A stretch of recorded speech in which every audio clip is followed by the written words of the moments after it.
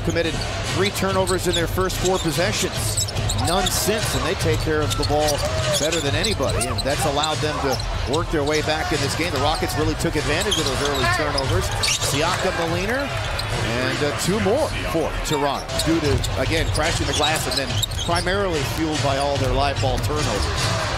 Well, back down old school post pivot by Siakam. Yeah, Siakam. Is- Help side defense from Barnes.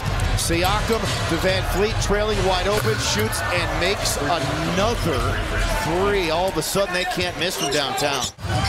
Rockets in trouble. They got to find a way to get something going offensively here. Siakam with a layup, Euro stepping by Sengun. He gets in the lane. He makes everything happen for the Raptors. He's got four threes, 21 points. Smith had it stolen away.